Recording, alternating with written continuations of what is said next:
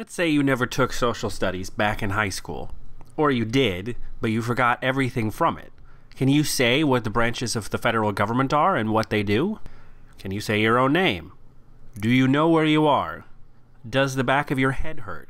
If so, you may have amnesia and will need a different video, or a trip to the emergency room.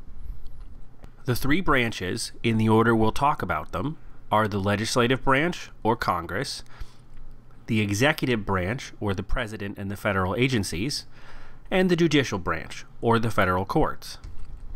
First, Congress, the legislative branch. Congress is the branch that writes and passes laws. It also coins money, passes budgets, decides taxes and fees for revenue, and regulates interstate or international commerce. Basically, Congress is where the money is. Regulating commerce is one of the most important powers because when the Constitution was written, most everything was either made or grew by the person using it, or bought from close by. Now, pretty much everything comes to us from far away and through many people and corporations. The Supreme Court has also widened the definition of interstate to include activities that happen entirely in one state if the total of those activities affects interstate commerce in some way. That has come to mean just about everything, which gives Congress a lot of power. Also in the money department is spending. Taxes come in and spending goes out. The Supreme Court has ruled Congress can pretty much spend money on anything it wants to, as long as it doesn't violate anyone's rights, including equal treatment and due process, in doing so.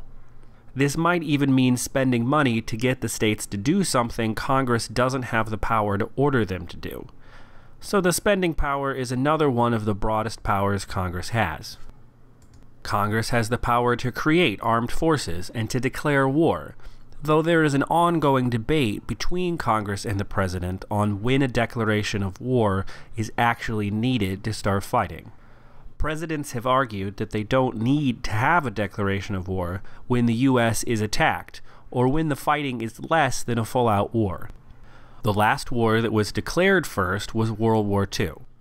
Congress has passed a law requiring the president to get approval for any armed conflict less than a war after a certain amount of time, but presidents claim they don't necessarily need to do that, which has been the source of arguing when we fought in Somalia and Bosnia in the 90s, or Libya recently. Congress has some slightly less exciting powers too. They can create a postal service, but not manage it. They can manage patents, trademarks, and copyrights. They can create federal courts, but don't manage them either. They have the power to investigate the federal agencies. They can set standard weights and measures. The post Civil War amendments to the Constitution also give Congress certain powers to enforce the protection and equal treatment of racial minorities. In addition to all the listed powers of Congress, it also has the power to create any laws necessary to enforce its listed powers. That could be a lot of things, so it has the potential to become another big source of power. Now, on to the president and the executive branch. The president executes the laws. This means managing the federal agencies. There are quite a few all federal agencies get their powers from the laws passed by Congress and get their funding from the budgets passed by Congress, but the president manages them. This includes picking over 6,000 top level positions. That includes all the federal judges. The Senate has to approve the highest level positions in the agencies as well as the judges. Even though it seems like Congress would have all the power, since it writes the laws, the president is the one who approves rules and regulations for the agencies. Usually, the law only gives an outline of what the agency needs to do, and the regulations fill that in. Congress can set rules about how agencies may spend money, though, as an extra way to have control. The President is the Commander in Chief of the Armed Forces, so even if Congress decides that we're at war, the President actually runs the war. The president can grant pardons for federal crimes. Some pardon requests stand a better chance than others. The president manages foreign relations, though the Senate has to agree to a treaty by a two thirds vote. The technical term for that is ratification. Now, even though Congress passes laws, the president can veto them, or the president can hold the bill for up to 10 days, and if Congress's session ends in that time, the bill goes away, which is called a pocket veto. The term pocket veto comes from the first president to use it, James Madison, who had very deep pockets where he stored trail mix. Congress can override a veto and pass the law anyway, but that takes a two thirds majority, so it doesn't happen very often. The president can also sign a law, but say that he'll only interpret it in certain ways, which is called a signing statement. It's another way to influence laws without actually being able to make them.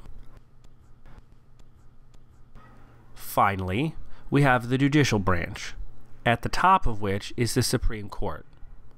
This is the branch that interprets the Constitution and deals with court cases about federal laws, including deciding what a vague law means. If one of the other two branches does something unconstitutional, it can usually be blocked in court. The courts also decide if a federal law in an area where the federal and state governments both have powers overrules those state laws, which is called preemption. One example of an overlap is environmental regulation. And, of course, the courts deal with federal law and federal crimes in cases just like any other court. Even though the Supreme Court is at the top, most cases get resolved way before then. The courts are influenced by both of the other branches because the president appoints judges and they have to be approved by the Senate. But then once the judges are in, they're in for life, so they end up with a lot of independence. Those are the basics of what the three branches do and what their powers are. And just in time for you to get that head looked at.